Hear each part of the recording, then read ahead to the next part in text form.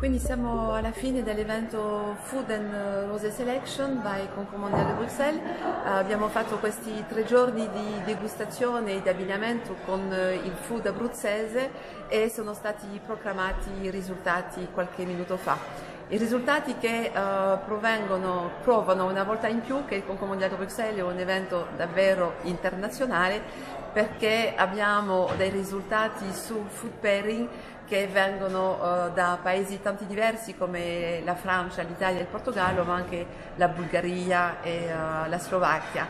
Um, questi, questi, tre giorni di degustazioni hanno permesso alla cucina abruzzese, al territorio abruzzese di provare uh, la qualità suoi, delle sue materie prime e hanno, gli chef della scuola alberghiera hanno proposto ai degustatori del, dell'evento degli abbinamenti eccezionali.